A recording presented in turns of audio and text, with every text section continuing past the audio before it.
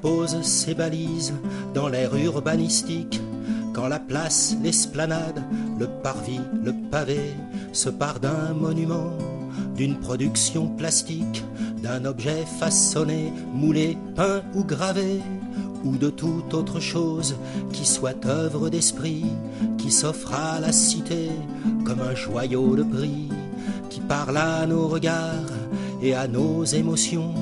comme un lent contrepoint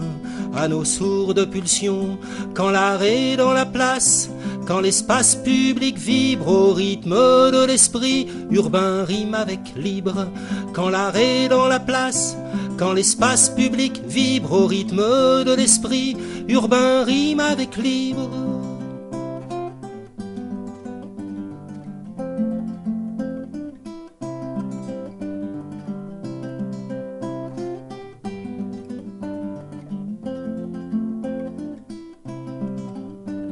Quand le grand boulevard chante, quand l'avenue fait ses gammes, quand le jardin s'anime d'un jongleur ou d'un mime, quand le pont mène la danse, quand le trottoir déclame, quand l'art avec la rue noue un rapport intime, quand les fenêtres exhalent une vieille romance, une folle complainte, une chanson nouvelle,